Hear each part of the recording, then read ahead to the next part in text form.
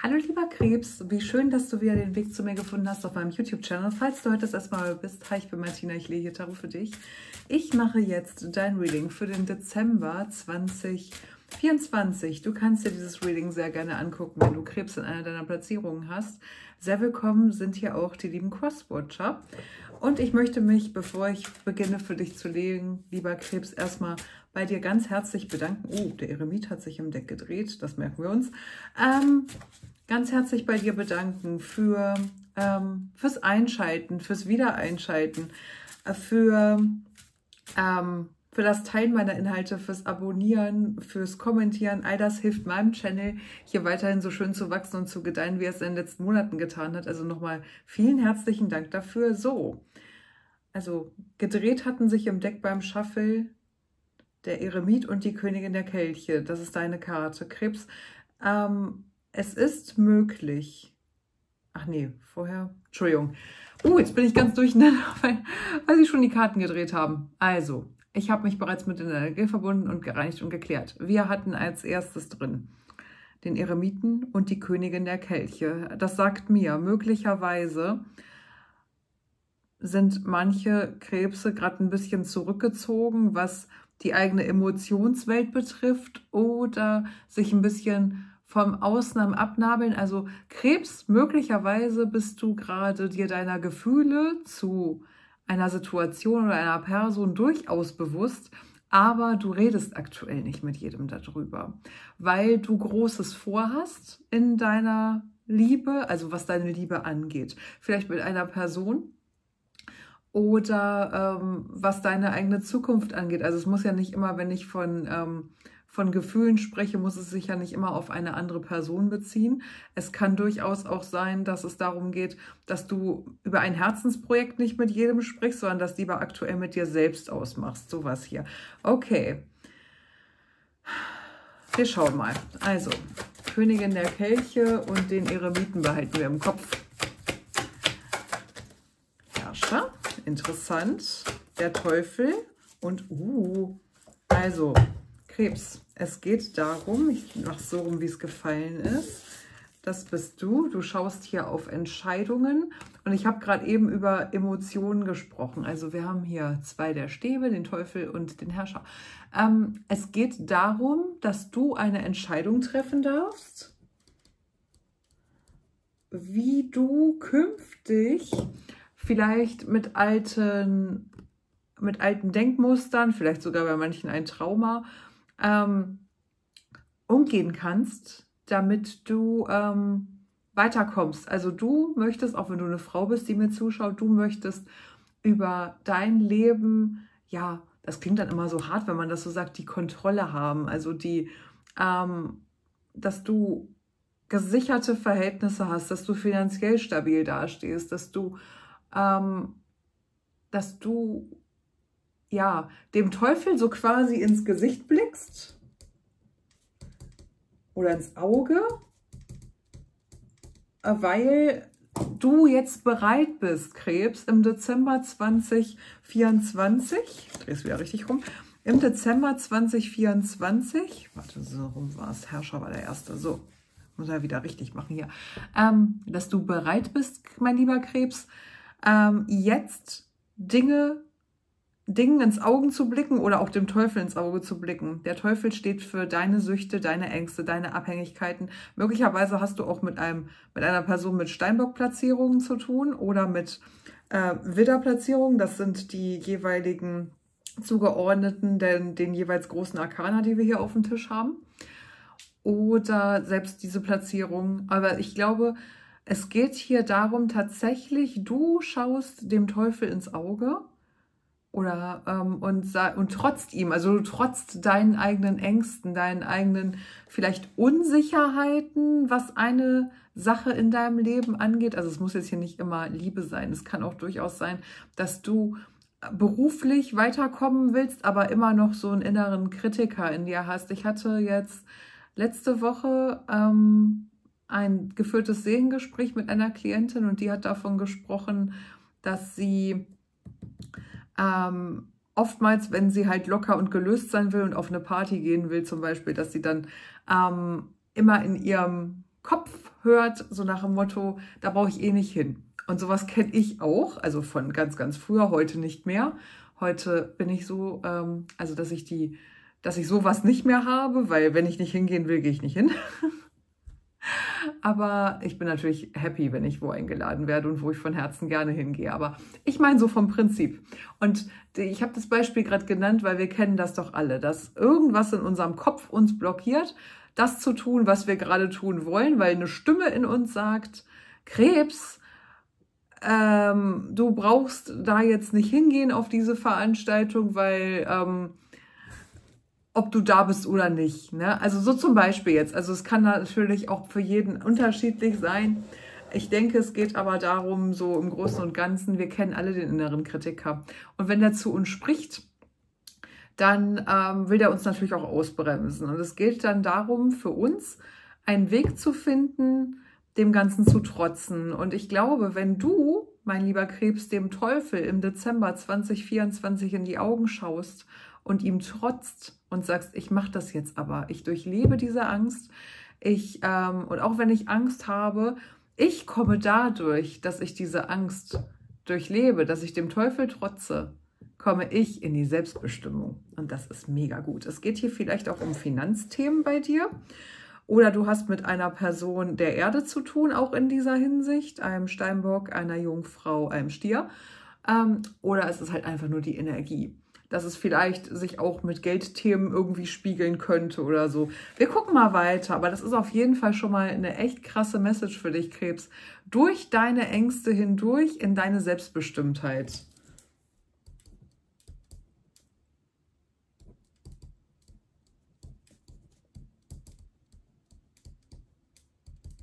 Das finde ich gut. In die Selbstbestimmtheit, ne? Weil manchmal ist es auch so, ihr Krebse, ihr seid ein Wasserzeichen, das heißt, ihr seid sowieso sehr in den Emotionen verhaftet und sehr, ja, also ihr könnt auch die Emotionen von anderen Menschen spüren und eigentlich seid ihr auch recht oft, also ich sage jetzt mal zu 99 Prozent der Fälle, 99,99 Prozent ,99 der Fälle, hat eure erste Ahnung über eine Person, wenn ihr sie kennenlernt, auch ähm, ja, Erfolg. Ne? Dass wenn ihr ein komisches Gefühl bei einer Person habt, dass das dann vielleicht auch meistens so stimmt. Ähm, aber es gibt halt auch manchmal Momente, da lassen wir uns auch täuschen. Da ist unsere Intuition dann halt auch irgendwie gerade nicht anwesend und dann sind wir am Ende enttäuscht so. Ne? Und ja, also es geht für dich um Selbstbestimmtheit und vielleicht sogar um Finanzen. Wir gucken mal weiter. Wie geht das hier weiter für Krebs im Dezember? Ja, uh, okay. Ah ja, okay, ich verstehe. Also, es mag sein, dass etwas Unvorhergesehenes passiert, was dich ähm, so aus dem Konzept bringt. Beziehungsweise, ich nehme es eher so wahr, dass diese Ängste, die du durchlebst, mit Absicht sehenden Auges, dass es bei anderen Menschen einen Turmmoment auslöst, weil Krebs war ja immer nie eine Person, die uns getrotzt hat. Also wenn das jetzt Personen sind, die dich immer kleinreden wollten oder die dir immer ein unsicheres Gefühl geben wollten, du kennst es. Es gibt diese Menschen, die sind einfach besessen davon, dir den Tag zu versauen. Und das ist deren Lebenselixier. Nennt sich auch ähm, hm, hm, hm, hm, Persönlichkeitsstörung. Darüber möchte ich jetzt aber nicht reden, weil ähm, sonst ist das dann hier ein Aufklärungsvideo, wie man mit sowas umgeht. Und naja, du weißt, was ich meine. Und ähm, ja, auf jeden Fall ist, ich, ich nehme es eher so wahr, dass du der Welt quasi trotzt, also wenn andere Menschen es sind, die dich hier klein halten wollen, die da machen wollen, du trotz dem Ganzen, das kennen die gar nicht. Und das verursacht nämlich bei denen einen Turmmoment. Weil du nicht nur dem Teufel, sondern halt auch diesen Ängsten mit den Neuen der Schwertern. Du hattest vielleicht nie Mut, dich dagegen aufzulehnen, falls das Personen sind, oder gegen deinen inneren Kritiker, was ich vorhin sagte. Und dadurch verursachst du aber einen Turmmoment. Also, dass alte Strukturen wirklich aufbrechen können dadurch und du einfach, ja, wie der strahlende Sieger, die strahlende Siegerin ähm, da rausgehst aus der Aktion. Es ist so, dass du dich immer zurückgehalten hast, ähm, mit den vier der Münzen, also entweder Zurückhaltung geübt, in dem Fall dich gegen diese Menschen, die dich manipulieren und klein halten wollten, aufgelehnt, also nicht aufgelehnt hast und jetzt auflehnst, das meine ich. Und äh, auch wenn dir das ein bisschen Sorge macht, was wird passieren, was werde ich, ähm, was wird da draus, ähm, werden die Leute mich fallen lassen oder so.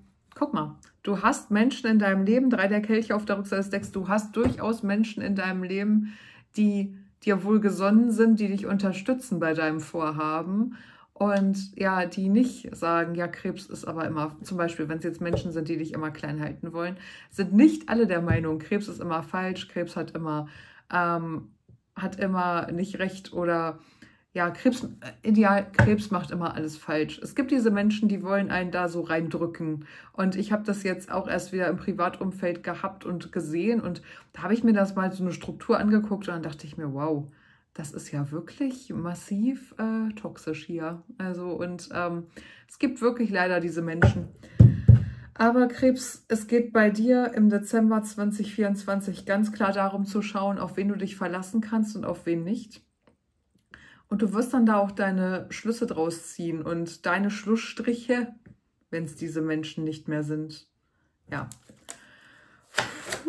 weiter, Krebs. Ich finde es ich find's krass, aber ich kann dir sagen, sich von Menschen zu verabschieden, weil sie einem nicht gut tun, ist eigentlich das Beste. Das ist ein Riesenakt der Selbstliebe, kann ich dir sagen.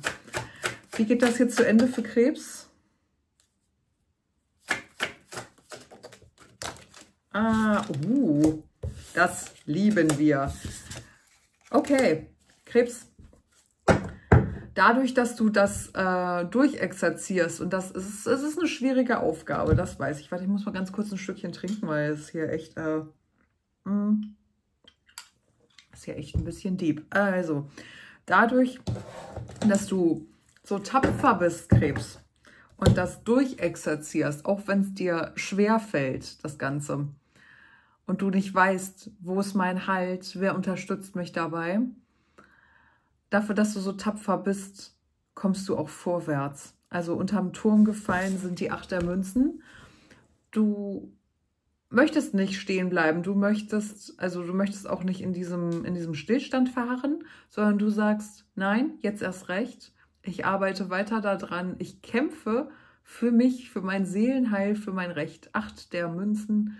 Du investierst deine Energie, die du jetzt vielleicht noch übrig hast diesen Monat, im Dezember 2024. Du investierst deine Energie da rein, dass du für dich gucken kannst, okay, ich ähm, werde da weitermachen, ich werde nicht stehen bleiben und nicht vom Teufel aus Angst getrieben sein, ich mache weiter. Und dadurch, und das ist extrem gut, weil dieses Jahr ist das Jahr der Kraft, das hier ist Löwe-Energie, also vielleicht hast du auch Löwe-Platzierungen oder mit jemandem zu tun oder jemand ist ein großer Unterstützer, der Löwe ist oder Löwe-Platzierungen hat.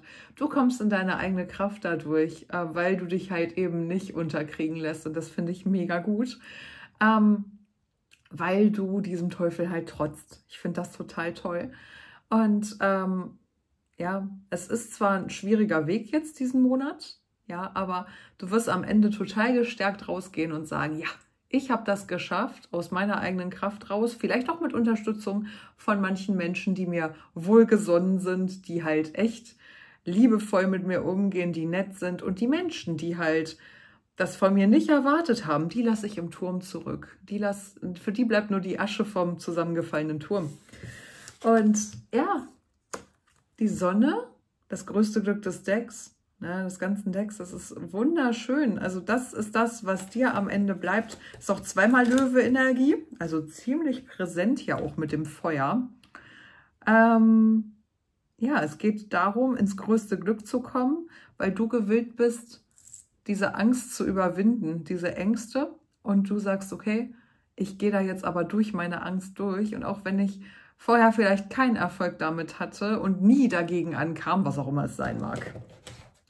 Du kommst dagegen an und das Universum beobachtet dich auch und kann auch durchaus sehen mit dem Gericht, wie viel Energie du reingibst, wie viel du kämpfst und du kriegst eine zweite Chance dadurch. Also für dein größtes Glück. Das ist der Kelche.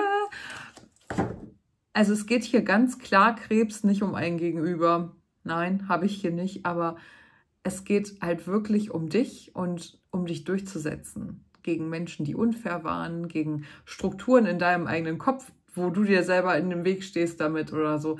Aber ja, du kriegst dann dadurch, dass du das hier durchmachst, dann auch wirklich einen Kelch angeboten von oben. Vielleicht eine Riesenportion Selbstliebe, vielleicht aber auch dadurch, dass du dich von was freischwimmst. Es ist ja so, wenn auf unserer Seele was drauf liegt, was uns unser Leben lang blockiert, glücklich zu sein, dann ja, werden wir auch nicht glücklich, weil so eine Blockade vorliegt. Aber ich glaube, dadurch, dass du für dich hier einstehst, ganz doll und für dich selber da durchgehst und sagst, okay, ich mache das jetzt, ich bin jetzt mutig, ich mache das jetzt, dadurch kriegst du vom Universum Kelch gereicht. Kann für dich sein ein großer Akt der Selbstliebe, dass du das für dich getan hast, aus deiner eigenen Kraft raus und dann dadurch als Sieger, als strahlender Sonnensieger da rauskommst. Oder es kann sogar sein, dass dadurch ähm, in Richtung Beziehungen, Partnerschaften oder Freundschaften sich wieder was Neues gelöst hat und diese Beziehungen halt auch viel lockerer und schöner sein können dadurch. Also Krebs, mein lieber Krebs, halte durch, was du da machst. Du machst das grandios. Und ja, wenn es dir auch so sehr gefallen hat wie mir, freue ich mich wie immer sehr über dein Like, dein Abo, dein Kommentar. Teile dieses Video sehr gerne mit allen, die Love Tarot kennen sollten. Ab dem 1. Dezember gibt es wieder den Tarot Adventskalender. Ihr habt ihn euch gewünscht. Jeden Tag ein allgemeines Reading. Ich hoffe, ihr schaut alle zu ähm, und seid dabei. Ich freue mich schon sehr darauf.